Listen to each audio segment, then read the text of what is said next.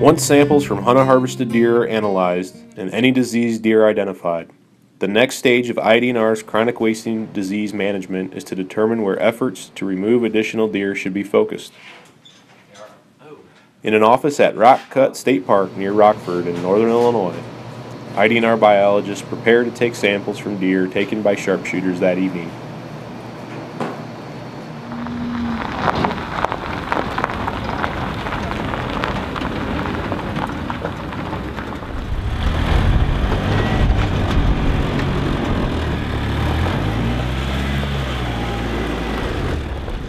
Sharpshooters are used to remove deer from areas where the disease has been found.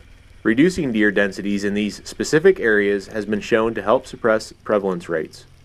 In Illinois, these methods have kept those rates low, to about 1% of deer tested. At this time, there is no cure for chronic wasting disease. It is the goal of IDNR's management efforts to contain the disease as much as possible and keep it from moving to other parts of the state. This is a difficult challenge because deer can move great distances. From the maps of CWD occurrences documented each year, we can see how the disease has moved from concentrated hotspots in northern Illinois to sparks that move out over the landscape, particularly along river and stream corridors. Like the spark from a campfire, a burning ember, or infected deer in this case, can travel some distance before starting a new fire or spreading disease to other animals in a new place. At the close of Illinois' regular deer hunting seasons, qualified sharpshooters remove additional deer from these areas with the permission of the landowner. Sharpshooting is limited to a buffer zone within a two mile radius of known locations where CWD positive deer have been found.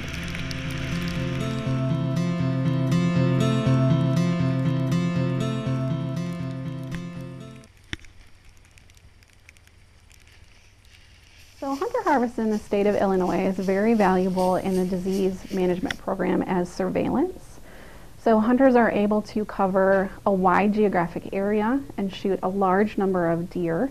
And then those animals can be tested and we can determine uh, where the positive animals are located.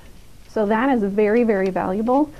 Um, unfortunately, it's very difficult on a practical level to concentrate hunter harvest into those localized areas where the positive deer are found.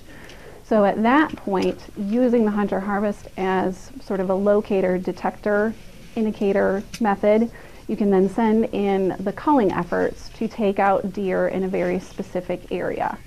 So that's why the sharpshooters can use the hunter harvest data to find those locations and then go in and reduce deer density in just those specific areas where chronic wasting disease has been found.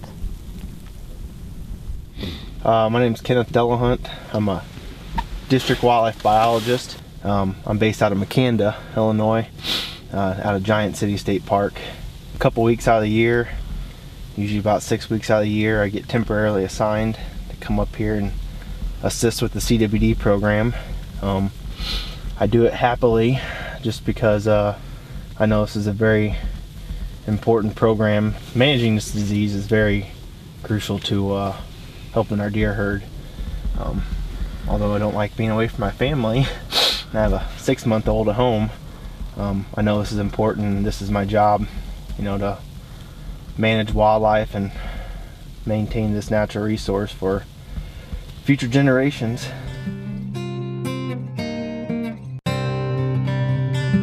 In part 4, we will talk with scientists studying CWD and suggest ways hunters who live in areas where CWD has been found can safely handle their deer.